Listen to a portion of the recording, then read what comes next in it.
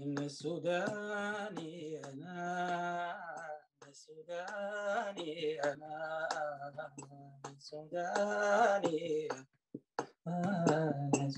Dame Sarah Thornton, the UK's Independent Anti-Slavery Commissioner, in a recent presentation mentioned that over 40 million persons are victims of uh, modern slavery on any given day.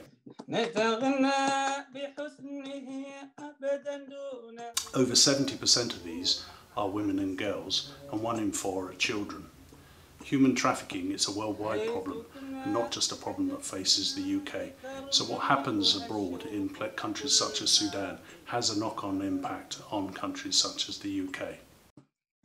Sudan was selected as a case study for our research because it's a vital link in transnational migratory chains, functioning as a destination, transit and source country. This is characterised by flows of refugees and irregular migrants from surrounding countries, alongside patterns of violence and displacement within Sudan itself.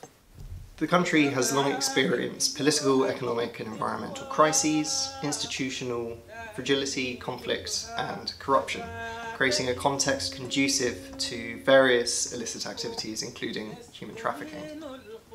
In our report we found that COVID-19 had little discernible impact on the criminal networks, perpetrators and methods that underpin the trafficking industry.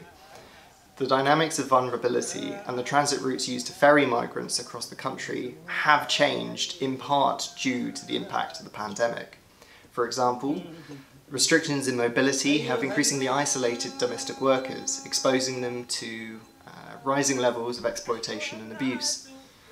Likewise, uh, safe houses that were already in short supply have been forced to close, leaving vulnerable populations and victims of trafficking exposed to greater dangers.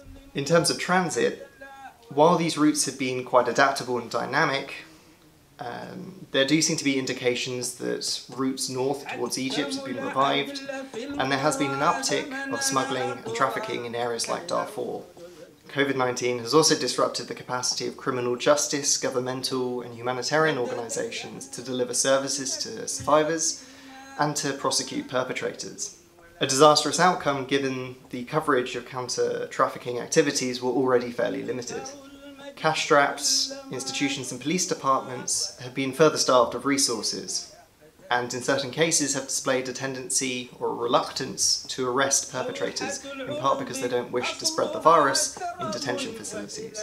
Now the government has introduced a three-year strategy, building on its previous commitments, but there continue to be significant challenges. For a start, there's problems with the legislation's design, its feasibility and its resourcing. There's also a lack of institutional memory, knowledge and experience within an increasingly divided transitional government. There also appears to be a bit of incohesion when it comes to understanding what the problem actually is. There is still poor coordination and limited consensus over the nature of the problem within the Sudanese government and between different Sudanese stakeholders, and also between the Sudanese government and international donors. Finally, corruption and human rights abuses by police, RSF paramilitaries and Sudanese army make it difficult for international donors to collaborate with those stakeholders supposedly operating on the front lines of counter-trafficking activity, especially as there are allegations that elements or individuals within the Sudanese security forces are themselves complicit in the criminal networks they're trying to tackle. In our recommendations for Sudan, many of these can read across into many countries that are suffering the same problem. We recommended that the human trafficking needed proper resourcing uh, and aid that goes beyond training and awareness to actual service delivery. We also recommend that migration is dealt with as an issue to reduce the attractiveness and the opportunities for people to be exploited by traffickers and people smugglers. Additionally, we need to include the voice of women where gender issues are uh, rightfully placed fore and centre in the policy.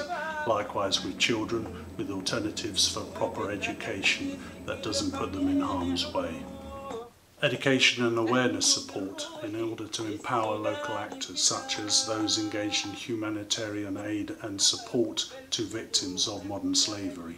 Lastly, proper governance and institutional know-how that allows the transitional government in Sudan to benefit from the knowledge and know-how of international actors and organisations that can assist in making Sudan a less attractive place for modern slavery and human trafficking. Uh,